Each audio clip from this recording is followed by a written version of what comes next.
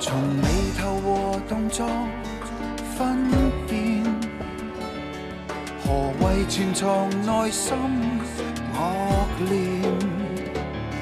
在迷惑裏拆穿，着睡在瞞騙，最終發現故事隨着我預計發展，虛偽面目無論裝得再好，心中還是有數。謊話就是無論編得再好，總捉到你的路。這樣用力逃避一種眼神，其實你已敗露。靠着情报，我都可看到。假若罪行誰在掩饰也好，心中还是有数。虚伪面目无论装得再好，偏偏欠缺深度。这样用力逃避一种眼神，其实你已败露。不靠着情报，你心虚我知道。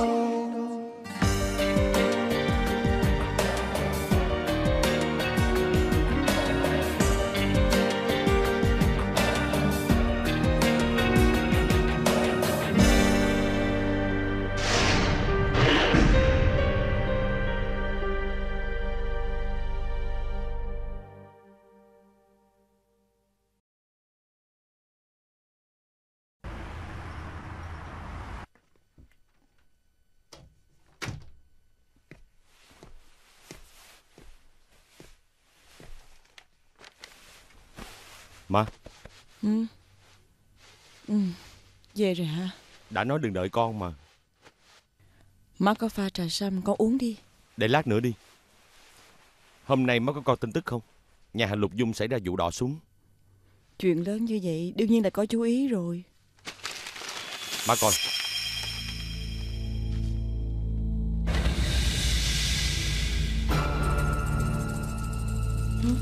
Có phải người này giống ba lắm không Không thể nào. Tôi chỉ nhìn một phần ba khuôn mặt Nhưng con cảm thấy thật sự rất giống ba Hai mươi mấy năm trước ba con chết rồi. Chính mắt con cũng nhìn thấy mà. Nhưng con không nhìn thấy thi thể của ba Hôm đó ba con vừa lên tàu thì chiếc tàu nổ tung. Cho nên cả người lẫn tàu đều bị chìm xuống đáy. Lúc đó dòng chảy đang rớt xiết. Thi thể của ba con và xác của chiếc tàu đó đều bị cuốn ra biển không thể tìm được. Năm xưa cảnh sát biển đã nói như vậy. Con quên rồi sao? Nhưng quyền linh tử có nói Rất có thể ba vẫn còn sống. Lại là quyền linh tử Má đã nói rồi Những chuyện của mấy thầy bói toán làm sao mà tin được? Cho dù con không tin cổ Nhưng tại sao có một người xuất hiện Mà người này lại rất giống ba của con? Không chừng người giống người thôi. Con phải chứng minh coi Người giống người đến cỡ nào. Tại sao con nhất định không tin ba con đã mất hai mươi mấy năm rồi? Con đừng suy nghĩ lung tung nữa. Nhưng má à Nghe má nói đi Con cứ tối ngày nghĩ là những chuyện trước đây có ích sao Chỉ làm bản thân khổ sở thôi Con có hiểu không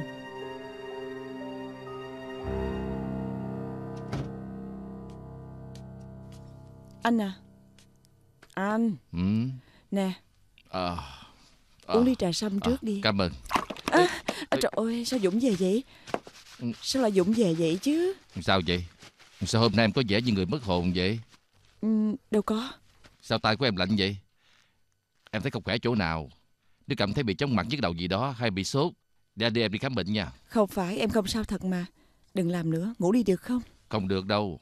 Hôm nay phải tính cho xong sổ sách, ngày mai đưa cho anh hai coi. Nhưng sức khỏe quan trọng lắm Bây giờ khuya rồi Ngày mai mới tính đi Anh biết sắp xếp rồi.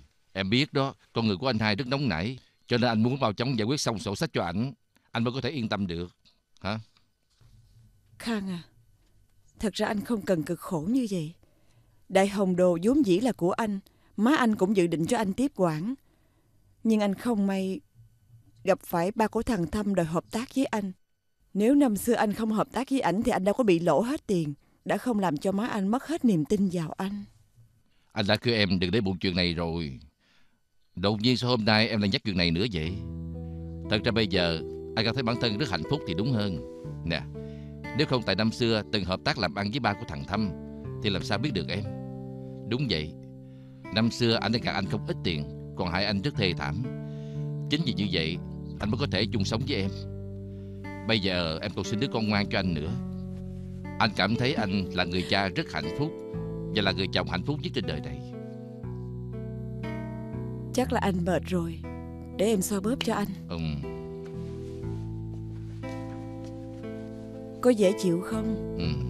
Ừm. Di truyền của anh đâu? À Mặt dây chuyền bung ra rồi. À, Để em làm lại cho anh. Ừ, Không cần đâu Anh tự làm được rồi.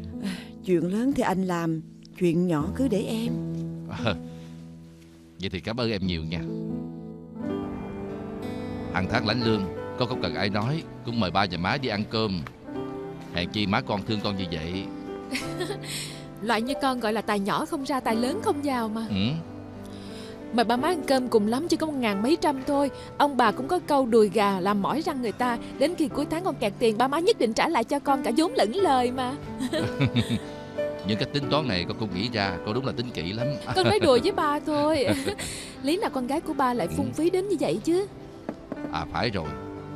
Nói gì thì nói cô đừng phung phí quá. Phải biết để dành tiền phòng giật bất trắc lo cho tương lai chứ gì. Con biết rồi anh hai cũng nói như vậy mà Ba cũng nói như vậy. Còn đâu có dám không nghe Có đúng vậy không Có đúng không ba? À phải. Con có kêu anh con tới không? Đương nhiên là có rồi. Tại anh hai nói ra cảnh sát nhiều việc làm không thể tới thôi. Không có lộc ăn Cùng lắm lần sau con bù lại cho ảnh. Coi như con cũng biết quan tâm anh hai đó. Đương nhiên rồi. À, Phải. Sao má tới trễ vậy? À Má con để mặc dây chuyền đi làm giùm cho ba. Ê, Ba đã kêu đi ăn cơm trước rồi. Nhưng má con cứ nôn nóng rồi đi. Tính của má con là vậy mà. Chuyện gì cũng nôn nóng hơn người. Để con gọi điện thoại cho má. Ừ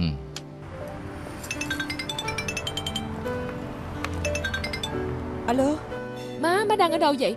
Con đang đợi má ăn cơm nè. Má sắp tới rồi. Con cứ gọi sẵn thức ăn đợi má đi. Má chỉ còn cách vài ngã tư thôi. Ừ. Bye bye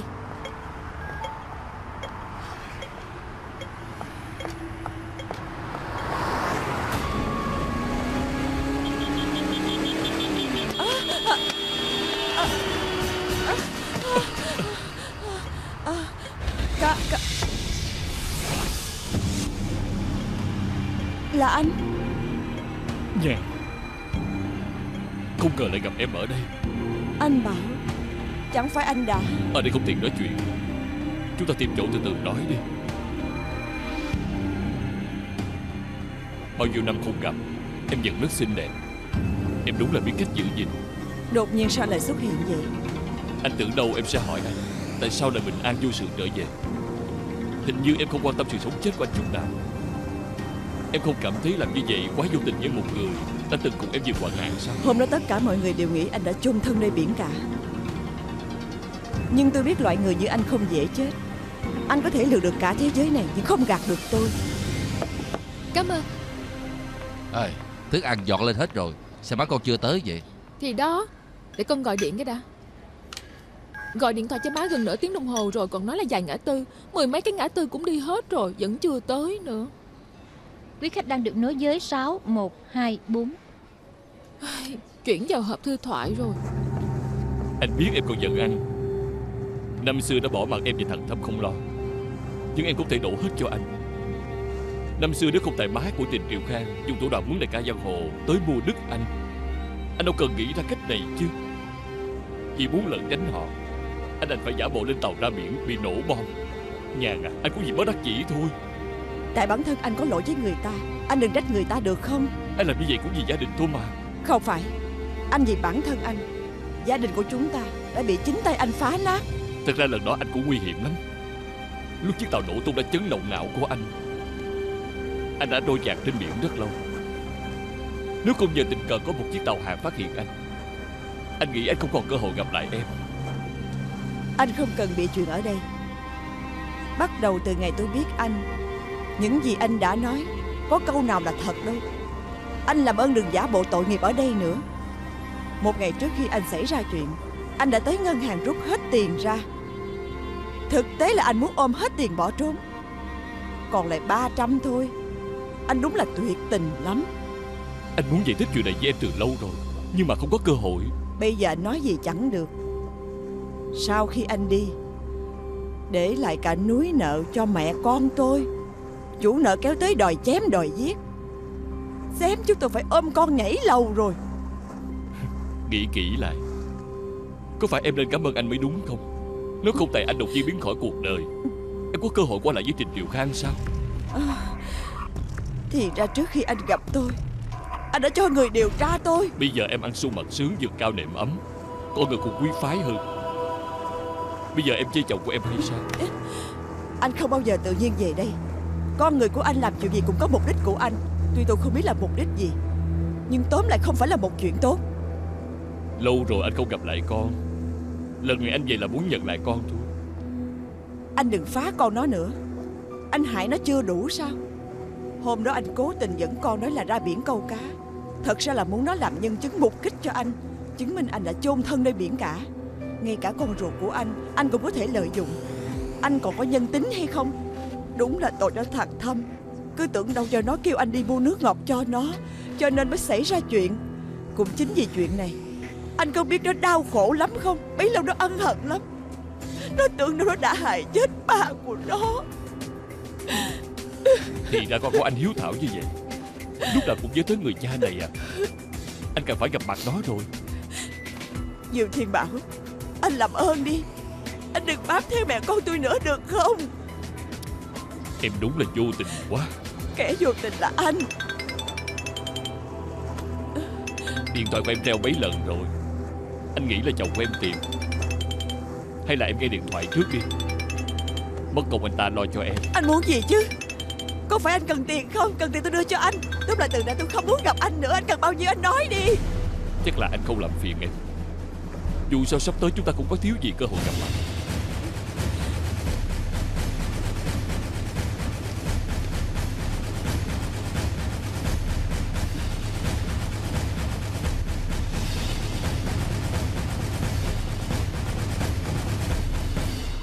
Má hẹn đi ăn trưa với hai người. Sau đó lại không xuất hiện. Trước giờ má đâu có vậy? Phải đó, em gọi điện thoại cho má mấy lần rồi. Má mới gọi lại, hỏi má có chuyện gì không? Má nói về nhà mới nói, không biết má đã làm cái gì nữa. Bây giờ má con gọi về là được rồi. Nhưng bây giờ đã trễ lắm rồi mà má vẫn chưa về. Không được, gọi cho má cái đã. À má con về rồi kìa. Ê, Ủa má? Má xảy ra chuyện gì vậy? Không có gì đâu. Không có gì đâu. Không có gì. Còn nói là không có gì nữa Con với ba đợi má nhà hàng gần 2 tiếng đồng hồ má mới gọi lại cho con. Má có biết mọi người lo lắng cho má lắm không? Ờ, Má đem mặt dây chuyền đi sửa giùm ba con mà. Nên má nghĩ sửa xong rồi Thì có thể đi ăn trưa với hai người. Ai ngờ đi một hồi nhìn một lát Cảm thấy vẫn có chút vấn đề. Nên má đã lập tức quay lại tiệm vàng Kêu họ sửa lại cho má thôi. À, Thật ra cũng bình thường thôi. Em cần gì lo lắng Lập tức quay lại đó để sửa liền chứ. Bội nhi lo lắng cho em lắm đó Vậy thì không được Mặt dây chuyền là vật may mắn mà Không sửa lại trong lòng không yên chút nào. Cho dù là như vậy Tại sao hai tiếng đồng hồ sau má mới gọi lại cho con chứ? Ừ, Đúng lúc điện thoại bị hết pin. Hả? Vậy mà cũng được sao? Má có phải má giấu con chuyện gì không? Anh hai anh coi giùm em có phải là má đang nói dối không? Không Má không nói dối. Em đừng xử má như xử tội phạm được không? Má cũng đã mệt rồi. Nghỉ ngơi đi. Ừ, Má đi tắm cái đã. Ừ.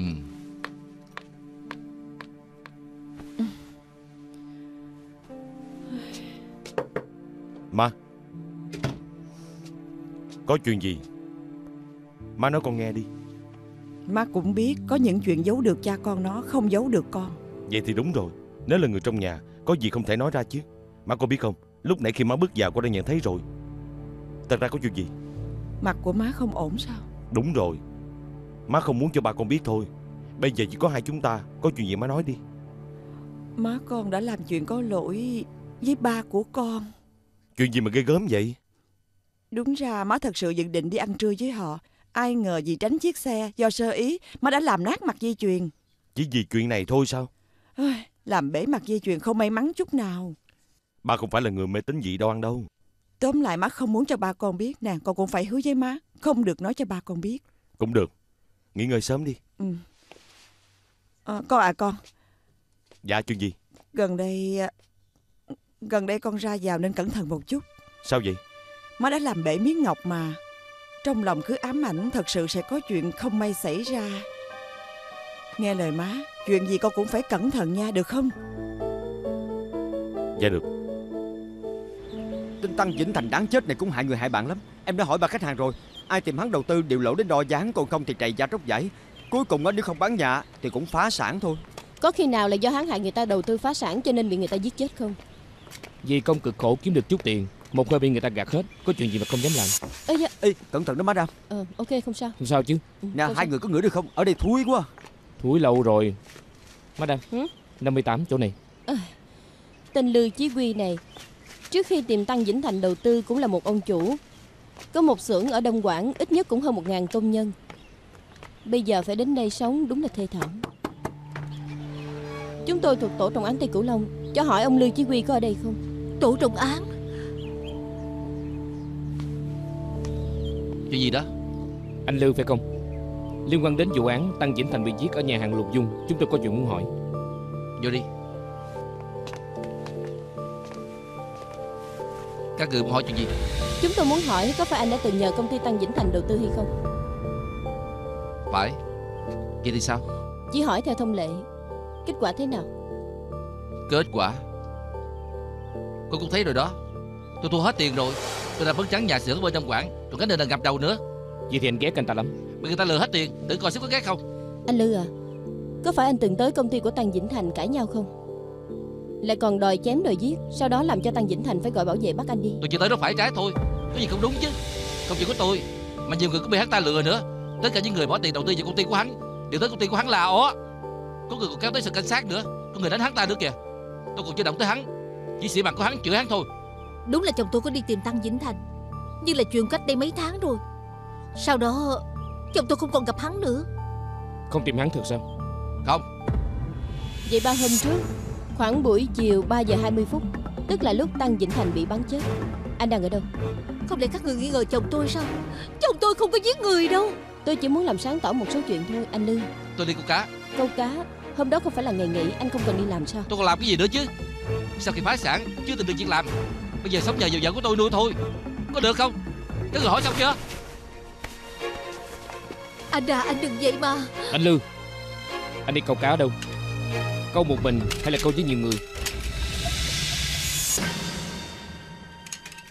Tôi vừa vào nhà Đã nhìn thấy tay phải của anh cứ tra vào túi. Sao hả? Không muốn cho ai thấy à? Tôi không hiểu anh nói gì. Nè Anh làm cái gì vậy? Anh à. Anh muốn làm cái gì Anh có thể giải thích rõ vết thương trên ngón tay phải của anh không? Không thể giải thích à? Để tôi giải thích giùm anh. Bởi vì anh không biết bóp cò Nên khi anh bóp cò đã ra sức bóp cò súng. Khi súng nổ đã làm bị thương đúng không? Anh Lư Mời anh theo chúng tôi về sở cảnh sát hỗ trợ điều tra. Cũng được. Thay đồ xong tôi theo các người về. Anh à. Yên tâm đi. Không sao đâu. Để tôi đi với anh. Ừ. Nè, Mở cửa Mở cửa Đuổi theo Mở cửa Đứng lại à.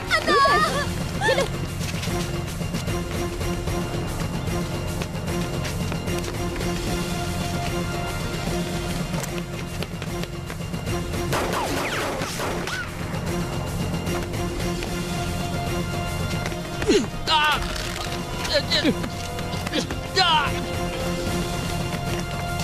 Các bạn thả tôi ra Thả tôi ra Chúng ta tôi bắn chết các người luôn không Đứng yên Phát hiện anh ta có vấn đề hồi nào vậy? Khi chị hỏi hắn có tới công ty của Tăng Vĩnh Thành hay không? Tuy ngoài miệng hắn chỉ nói là tới đó để đôi coi với ông ta, Nhưng trong ánh mắt của hắn lại tràn đầy hận thù làm như muốn giết người vậy. Nên tôi cảm thấy nhất định phải để ý hắn. Quan trọng nhất là khi tôi bước vào nhà, Hắn đã giấu tay trong túi quần, Làm như không muốn bị người ta nhìn thấy vậy. Tôi nhớ khi coi phim sếp Diệu có nói với chúng ta, Hung thủ chính là một người không biết sử dụng súng. Khi nổ súng, rất dễ bị thương. Cho nên tôi đã làm gãy cây cần câu để thử hắn. Lúc đó, hắn định đưa tay ra lượm. Nhưng ai ngờ hắn lập tức rút lại, Nên tôi cảm thấy tay phải của hắn nhất định có vấn đề. Cuối cùng cũng chứng minh được, Vết thương trên ngón trỏ tay phải của hắn Bị thương khi ra sức bóp vào cò súng. Mọi người làm tốt lắm. Lúc nãy Lưu Chí Quy đã thừa nhận Mọi chuyện là do hắn làm. Nhưng khi lấy lời khai, Hắn nói Tăng Vĩnh Thành không phải là hành động đơn độc. Hắn nói Tăng Vĩnh Thành nói với hắn, Có một người bạn biết được tin tức nội bộ của cổ phiếu, Tìm người đầu tư, Tìm cách trục lợi. Thật ra trong suốt mấy năm qua Chúng đã dùng tư cách nhà đầu tư chuyên nghiệp Lừa không ít người. Một trong số đó là Lưu Chí Quy Còn nữa Tôi nghi ngờ người bạn mà Tăng Vĩnh Thành nói Từng xuất hiện ở hiện trường vụ án.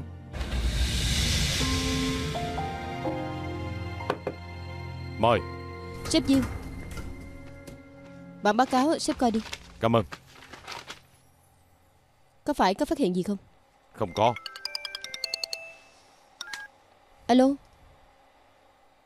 Ok tôi sẽ tới ngay Chuyện gì vậy Cô Trần Cô Lý Sao rồi Ờ, sáng nay lúc ra sân chơi bé bị bạn học đụng trúng nên bị trầy bàn tay. Tôi sợ không biết nó có bị trúng đầu hay không cho nên mới đưa nó tới bệnh viện. Nhưng mà cô yên tâm đi, sau khi chụp X-quang bác sĩ nói nó không sao, nhưng mà phải nhập viện để theo dõi. Cảm ơn cô Không có gì, bây giờ nó mệt quá nên ngủ rồi. Tôi ở lại coi chừng được rồi À, cũng được. Làm phiền cô nha cô Trần À không có gì. Cảm ơn Tôi đi Cảm trước. ơn. Bye bye.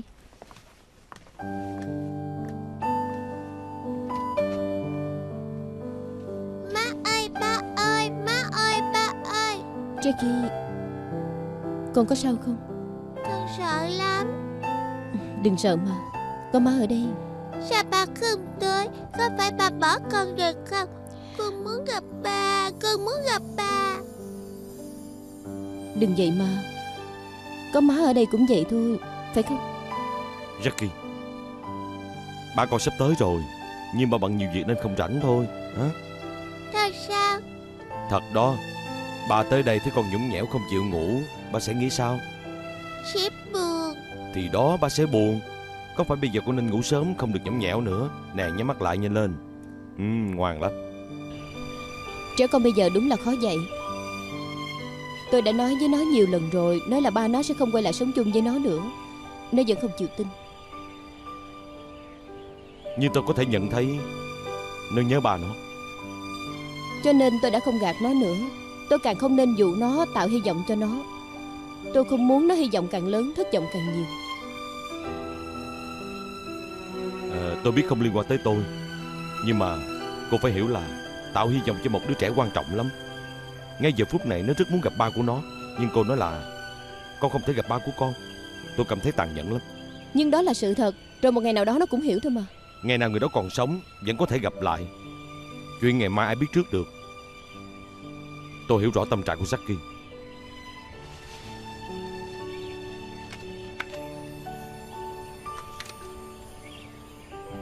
Người này là Tôi nghi ngờ người này là ba ruột của tôi Anh nói người trong bức hình này là ba ruột của anh sao?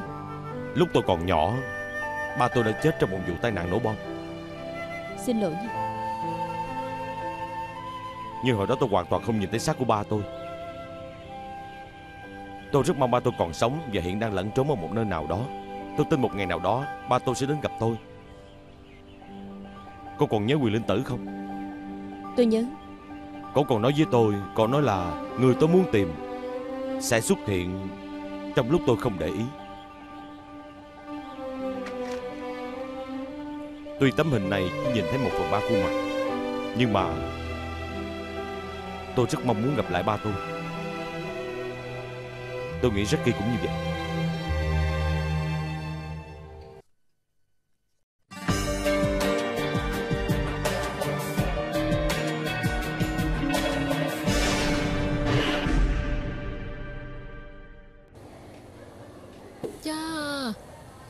Dễ chịu lắm. Hai mươi mấy ngàn đó Đương nhiên là dễ chịu rồi Em thử đưa cho anh hai mươi mấy ngàn đi Hàng ngày anh đóng cho em còn dễ chịu hơn Anh đừng có hòng. Không tốn tiền thì còn nghe được. Không cần tiền á Anh cũng có thể đóng cho em suốt đời mà Hả?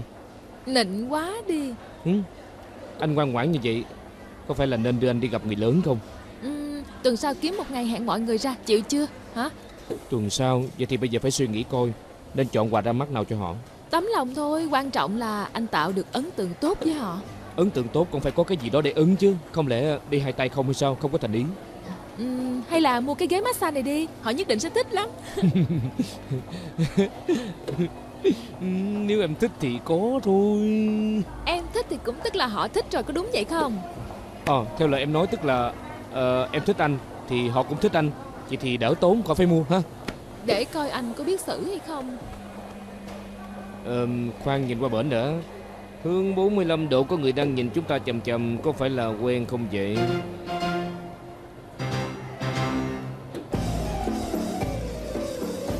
Má ba.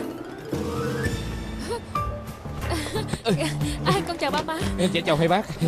Người này là À Trevor. À, Bạn của con. Dạ chào bác.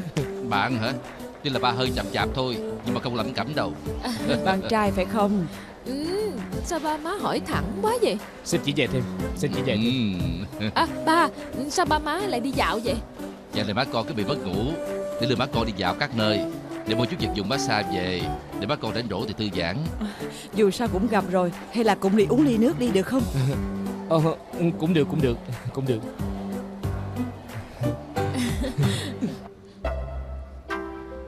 Bộ Nhi à Có phải con nên chính thức giới thiệu bạn của con không? À, à, Ảnh tên là Hà Lễ Hiền Còn tên tiếng Anh của ảnh là Trevor Nhưng mà nếu như ba má thấy khó đọc quá Có thể gọi là hủ tiếu xào cũng được. Ảnh là cảnh sát à, Ảnh làm chung tổ với anh hai đó. Vậy à, à Cậu Hà. À, Dạ thưa bác Đừng khách sáo quá Gọi con là hủ tiếu xào được rồi. À, Vậy hai bác không khách sáo dạ. nha. Bác trai bác gái Hai bác uống gì cứ gọi đi. À, Sao cũng được Bình thường bác ít uống cà phê lắm.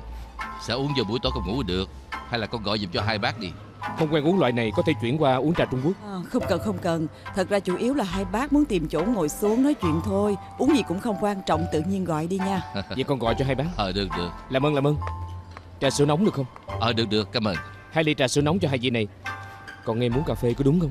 Ừ. Còn tôi ly cà phê đá cảm ơn. Dạ. à, Hủ tiếu xào đúng là chu đáo quá. Quen con nó không bao lâu đã biết hết ý thích của nó. Ủa giống như anh sao? Đến giờ vẫn không biết em thích uống phổ nhĩ hay thọ mi nữa. À, phải rồi. Hai đứa quen bao lâu rồi? À, Không mới hai ba tháng thôi. Hai ba tháng rồi sao? Sao con không mời người ta tới nhà chơi vậy? Không phải tụi con định vài hôm nữa là tới nhà rồi. Lúc nãy cũng định à, mua quà ra mắt mà à, Phải rồi bác à. Lúc nãy con thấy cái này Hy vọng là bác sẽ thích. Ờ Lúc nãy anh cũng định mua cái này cho em nè. Ai ngờ lúc gặp Hiểu Tiếu Xào á Mừng quá anh quên mất tiêu à. Vậy thì khách sáo quá Cảm ơn nhiều. Không có gì không có Vậy gì thì vài hôm nữa mời con tới ăn bữa cơm đạm bạc Để bác làm vài món đãi con ha. Vậy cũng được. So với loại của má Loại của anh có thể gọi là cơm heo. Thì ra con cũng biết nấu ăn sao Hả? Ảnh không có biết đâu. Bây giờ ít có thanh niên nào biết nấu ăn lắm Con cũng không biết đó con à. Đành chịu thôi Sống một mình Ba má cũng không chịu cùng con dọn tới nhà trong thôn ở. Tối ngày gọi thức ăn cũng không ổn Nên con tự nấu thôi. Đâu có Ở trong thôn cũng tốt vậy Không khí rất tốt mà. Dạ phải Nhưng chỗ con ở không gần chỗ ba con làm việc cho lắm Cho nên ba không chịu dọn tới ở. Vậy ba con làm nghề gì? Dạ ba bán quần áo. Thật ra là gì Lúc trước ba con làm giám đốc xưởng may Nhưng mà khủng hoảng tài chính Nhà xưởng bị đóng cửa Cho nên ba của con qua Đại Lục lấy quần áo về để bán lại thôi. Ừ cũng cực lắm đó Dạ phải Con đã kêu ba đừng bán rồi Nhưng ba sợ buồn không có gì làm. Ờ vậy cũng phải. Con thật thà lắm. Bán hàng cũng là một cái nghề thôi. À, em nghe điện thoại đã. À xin lỗi nha. Anh hai. Anh bận nhiều việc lắm Em nói với ba má tối nay anh không dạng đâu. À, Không sao Bây giờ mọi người cũng đang uống trà Em nghĩ ba má cũng không đói nhanh vậy đâu. Em đang đi chung với hai người à? Dạ phải. Hủ tiếu xào cũng có mặt nữa. Cái gì? Em nói đi với ai? Hủ tiếu xào Lúc nãy khi tụi em đi dạo đã gặp ba già má, Cho nên cùng đi uống nước luôn. Không tin à? Anh coi đi, Đợi một lát nha.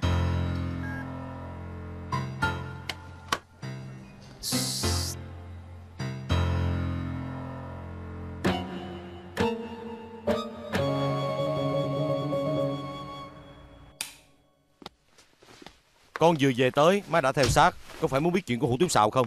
Con làm anh hai vậy sao? Em con có bạn quan trọng như vậy Con cũng không nói với má. Bây giờ con không nói mà con biết rồi. Má không tính chuyện đó nữa. Nè Cậu ta là cấp dưới của con mà. Tính cách của cậu ta thế nào? Cậu ta làm gì có siêng năng không? Có giỏi không? Có phép lịch sự không? Họ chỉ mới bắt đầu thôi. Làm gì má lo dữ vậy? Không lo mới lạ. Em con có bạn mà. Nè nè nè Con chưa trả lời má. Ừm, Cậu ta làm việc xông xáo lắm siêng năng lắm Nhưng có thể do tuổi trẻ hơi bồng bột một chút thôi. Bông bột à? Vậy thì đúng đó Cậu ta không chút suy nghĩ đã nói với má Là ba của cậu ta bán hàng rong nè. Nếu đổi ngược lại người khác chắc chắn cậu ta sẽ nói à, Tự lo cho mình hay là buôn bán nhỏ. Má thích nhất là thật thà Và thẳng thắn không gạt ai. Hình như lần đầu tiên má mới gặp cậu ta thôi. Bắt đầu khen rồi phải không? Đáng khen đương nhiên phải khen rồi Má không mong gì hết Chỉ mong cậu ta thật sự yêu con bội nhi. Phụ nữ sợ nhất là lấy làm chồng. Làm như em còn nhất định phải lấy cậu ta vậy.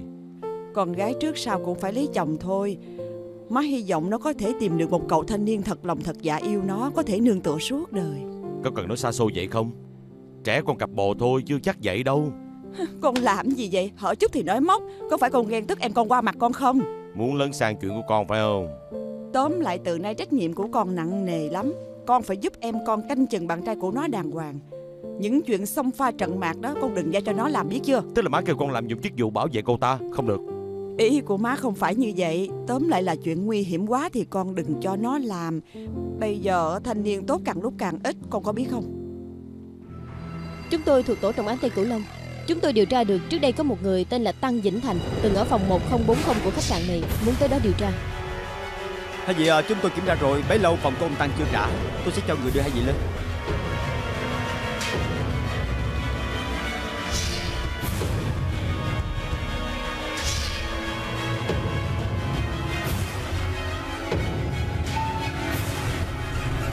Sếp Madam bên đây.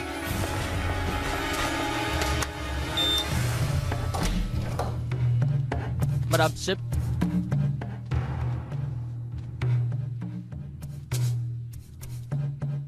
Có phải ở đây ngày nào cũng có người dọn dẹp không? Dạ phải, Madam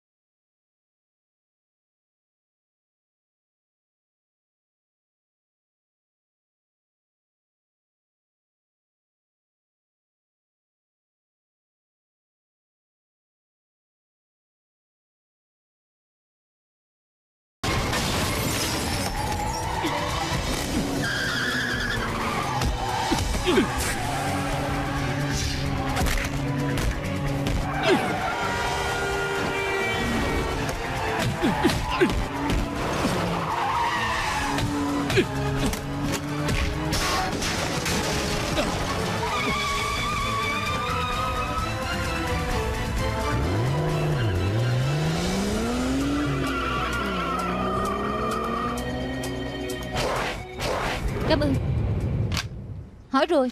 Xác định chiếc xe đó là chiếc xe báo mất cách đó vài hôm. Có gì? Đã đoán trước rồi. Bây giờ định phải coi mấy vi tính đó có manh mối gì không? Nè. Ờ sếp Dương, Dương, madam. Sao hả? Mấy vi tính có manh mối gì không? Xác định mấy vi tính này là của Tăng Vĩnh Thành. Và tài khoản trên trang web cũng thuộc sở hữu của Tăng Vĩnh Thành. Trong đó có mấy chục triệu. Có thể số tiền này do hắn lừa được. Gã đó lấy tiền trong tài khoản của Tăng Vĩnh Thành Rất có thể là đồng lõa với nhau. Tài khoản ở ngân hàng Thụy Sĩ của Tăng Vĩnh Thành đã bị đóng băng rồi. Cho dù có mật khẩu cũng không rút được tiền Nhưng tên này làm bao nhiêu chuyện cũng không rút được tiền. Có khi nào lại xuất hiện không? Chỉ sợ hắn không ra tay thôi. Hãy ra tay tôi nhất định bắt hắn. Cũng may lần này có hiểu tiếu xào thôi. Cậu sao vậy? Đập trúng vai sao? Sao cậu không lên tiếng? Cậu có đi khám không đó? Không cần đâu. Chuyện bắt cướp này coi như gãy ngứa chuyện nhỏ thôi mà. Hậu tiêu sao Ừ. Lúc đó cậu có nhìn thấy khuôn mặt không? Xin lỗi Không nhìn thấy. Anh hai chị hai. Ngồi đi. Bác hai bác gái Sao thằng Thâm tới đây với chú vậy? Hôm nay nó được giấy phép mà. Ai, Bây giờ làm cảnh sát sướng vậy sao? Nghỉ chủ nhật sao? Thú nghiệp của tôi thì khổ lắm. Một năm 365 ngày làm suốt không ngừng nghỉ. Người giỏi làm việc nhiều mà. Khang à Thủ nghiệp đã hẹn với người của công ty Vinh Phong bên Đại Lục dùng chúng ta. Ngày mốt 5 giờ sẽ tới đây bàn coi hợp tác thế nào. Chủ nhân tới đúng giờ đó. Tao từ câu nói của con biết. Thì ra Đại Hồng Đồ nổi tiếng như vậy Trung Quốc rộng lớn cũng có người biết. Còn được hợp tác với chúng ta nữa chứ Phải dạo trước tôi qua bệnh đấm bóp Mở tạp chí ra cũng có đăng đại hồng đồ chúng ta. Chẳng những vậy Ngay cả sổ tay du lịch cũng có đăng nữa. Cho nên bấy lâu Tôi luôn muốn qua bển phát triển Nhưng lại không biết được đi nước bước. Ê nè thủ nghiệp tài giỏi lắm. Nó quen được tập đoàn ở bên đó Còn trải sẵn đường Bắt sẵn cầu nữa. Nhưng dù sao cũng là lần đầu tiên hợp tác. Cơ bộ chúng ta cũng nên cẩn thận thì tốt hơn. Phải Tôi cũng nghĩ như vậy. Nhưng lần này họ thật sự có thành ý lắm Thủ nghiệp nói Rất nhiều nhãn hiệu quốc tế định qua bên đó phát triển Thì đã từ đầu Cái tên đã bị người ta đăng ký rồi Đến nỗi phải kiện tụng. Nhưng còn họ thì có thành ý lắm đó nghe. Từ đầu đã đăng ký tên Đại Hồng Đồ cho chúng ta làm quà ra mắt Thiết lập sẵn quan hệ. Nè Vậy thì bớt được nhiều phiền phức. Đúng là có thành ý lắm đó. Nhưng mà lần này mức đầu tư không phải nhỏ. Còn phải thế chấp đại hồng đồ để góp vốn nữa. Dù sao Chú cũng có cổ phần trong đại hồng đồ Chú không gật đầu thì giá nào cũng không thể thành công được. Em thì có ý kiến gì? Cổ phần của em cũng không nhiều lắm. Em chỉ đi theo anh thôi. Phải thế chấp đại hồng đồ. Mạo hiểm lắm. Bởi mới nói Cô chưa chứng kiến thế nào là làm ăn lớn. Đầu tư đương nhiên phải có mạo hiểm rồi. Không hy sinh thì làm sao có kết quả được. Con chỉ nhắc nhở thôi. Con sợ thì tới hôm đó cứ theo chú Khang tới nghe đi. Dù sao bây giờ con cũng rảnh rỗi. Không cần đâu. Mọi người thấy không có gì là được rồi. Ê, Cũng không thể nói như vậy Trung Quốc rộng lớn Loại người gì cũng có. Có thể nói thêm một người thêm một cặp mắt. Tới coi dùng thì có vấn đề gì chứ? Nhìn người cũng là chuyên môn của con mà. Phải đó. Bác hai đã kêu rồi Thì con cứ tới phụ đi. Cứ theo ba tới xem xét đi.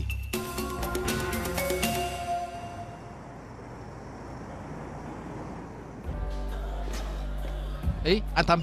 À xin chào. Lâu ngày không gặp. Rồi anh có chuyện gì gấp vậy? Vì lâu ngày không gặp Nên lên cùng anh ra ngoài nói chuyện chơi thôi À phải. Bà có nói với em Là có kêu anh cùng đi bàn chuyện đại hồng đồ của bển đầu tư. Không phải đi bàn Chỉ kêu đi coi giùm thôi. Anh Tâm à Làm ăn lần này không phải là nhỏ đâu. Nhưng mà anh có thể yên tâm Em đã nghiên cứu hồ sơ công ty Vĩnh Phong đó rồi. Còn đem tới cho anh coi nè.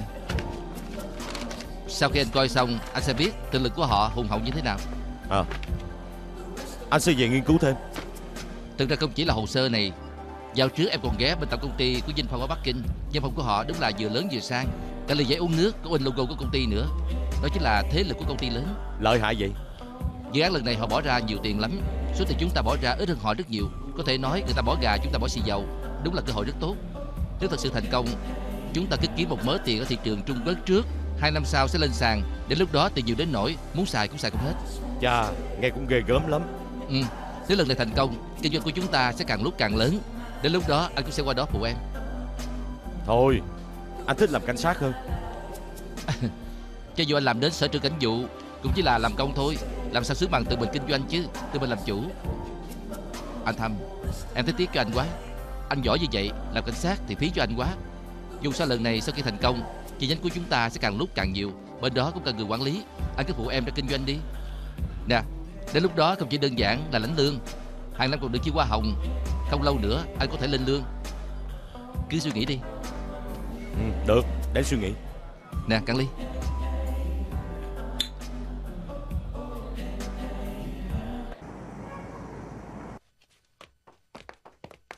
Các vị Để tôi giới thiệu với mọi người. Alo Thư ký à Tôi đang ở Hồng Kông. Tôi nhất định lấy miếng đất đó. Không cao không cao 400 triệu thôi mà. Tôi chỉ muốn xây căn biệt thự Không phải không phải. Là dạng nghỉ dưỡng. Xin lỗi các vị Sếp của tôi mới nhận được điện thoại của thư ký biên của tỉnh. Có lẽ sẽ bằng bạc danh tôi Ờ không sao. À, Tạm biệt tạm biệt. À, Tôi xin lỗi. Bên đó có một khu phát triển du lịch gần Tây Hồ. Muốn mời à, tôi hợp tác. Hạng mục này lớn lắm. Để tôi giới thiệu với ông. Đây là ba của tôi. Đây là chú của tôi. Vị này là má của tôi. Hai vị này là cô của tôi Tất cả họ là cổ đông của Đại Hồng Đồ. Ba Đây là chú Tổng Sếp công ty Vĩnh Phong đó. À, Chào ông Chú Tổng. Đây là trợ lý của ổng Anh Lý Tiểu Cương. Xin chào. Cô này là Đặng Băng Băng Thư ký của chú Tổng. À, Con vị này là à, Đây là anh họ của tôi. À, Diêu Học Thâm. À, Thâm Học Thâm. Chào, Chào ông. Chào ông. Chào ông. Chào ông. Chào cô. Mọi người được gánh sáo nè ngồi đi ngồi đi. Tự nhiên đi. Chú Tổng lặn lội đường xa Lần này chúng tôi nhất định phải làm tròn đạo chủ nhà ha. Gia tộc của tôi khởi nghiệp từ than đá ở Sơn Tây mười mấy năm qua. Kinh doanh càng lúc càng lớn. Bây giờ không chỉ là mỏ than đâu Còn kinh doanh luôn nhiên liệu hóa chất, nhiên liệu xây dựng. Kiếm thêm nhiều ngành lắm. Lần đó tôi tới Bắc Kinh Quen với cậu Trình. Chúng tôi có duyên lắm. Biết cậu ta là ông chủ của Đại Hồng Đồ Tôi thật sự rất là vui mừng Sao các ông có hứng thú muốn hợp tác với chúng tôi vậy? Suy cho cùng á, là chữ tình thôi. Chữ tình à? Lúc đó là năm tám mấy. Lúc đó tôi còn là một kẻ vô danh. Có lần có một đồng hương mang tới Một hộp bánh trung thu hột sen hai trứng của đại hồng đồ các vị qua bển. Tuy chỉ là một góc nhỏ thôi Nhưng khi cắn vào Mùi vị và cảm giác đó thật sự suốt đời không thể nào quên được. Sau đó mỗi lần có người qua Hồng Kông Chú Tổng đều nhờ họ mua đem về cho ổng Tôi còn nhớ lần đó là năm 88. Kinh tế của chúng tôi bắt đầu phát triển.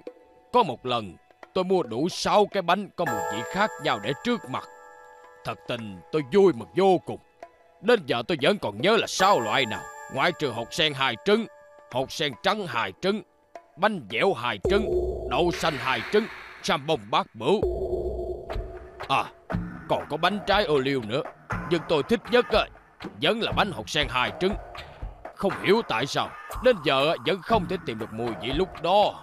Vì lúc trước tôi dùng mỡ heo Bây giờ cái gì cũng chú trọng sức khỏe Nên đã chuyển qua dùng dầu thực vật. Nhưng xin các chị đừng chấp nhất Nhiều khi có những thứ Phải là mùi vị truyền thống mới có cảm giác đó. Được Tôi kêu thợ giỏi nhất của chúng tôi Dùng mỡ heo làm vài hộp cho ông Quyết định vậy đi. Được được được. Nhưng cho dù đến bây giờ Bánh trung thu của Đại Hồng Đồ các vị vẫn rất khó mua. Hàng năm chúng tôi phải nhờ người qua Hồng Kông mới mua được đó. Phải Để bảo đảm chất lượng. Mỗi năm cũng chỉ chuyển một ngàn hộp qua bển thôi Không phải dễ dàng mua được đâu. Thật ra lần này chúng tôi rất muốn xúc tiến sự hợp tác này. Ngoài việc kiếm tiền Chúng tôi cũng rất muốn ờ, có thể phát huy cái tốt hơn nữa. Vậy ông muốn hợp tác với chúng tôi thế nào? À cô Đặng à Hay là cô nói à, chi tiết một chút đi. Dạ được. Chúng tôi hy vọng dùng 300 triệu đầu tư vào kế hoạch lần này. Như mọi người biết đó Tập đoàn của chúng tôi chuyên làm nguyên liệu công nghiệp. Những chuyện bào ngư di cá này Các vị mới là chuyên gia? Nên lần này họ chỉ phụ trách bỏ tiền. Với lời kinh doanh sẽ cho chúng ta toàn quyền phụ trách. 300 triệu nhiều vậy sao? Chúng ta phải đầu tư bao nhiêu mới đúng đây? Thật ra bước đầu cầu trình đã bàn với chúng tôi rồi Cầu trình dự định là mở ở Thượng Hải, Bắc Kinh, Thâm Quyến mỗi nơi một chi nhánh. Sau đó thì mới mở rộng tới các thành phố loại 2 Các vị đầu tư đồ khoảng 100 triệu. 100 triệu? Dự án lớn như vậy Ít nhất cũng phải 200 triệu mới được. Chuyện hạn mức đầu tư có thể bàn lại Quan trọng là các vị có hứng thú không? Có, đương nhiên là có. Nè chu Tổng à Chúng tôi có chuẩn bị vài món nổi tiếng tiếp các vị Hay là vừa ăn vừa nói đi. Cũng được. Nè nè nè nè nè, nè. Xin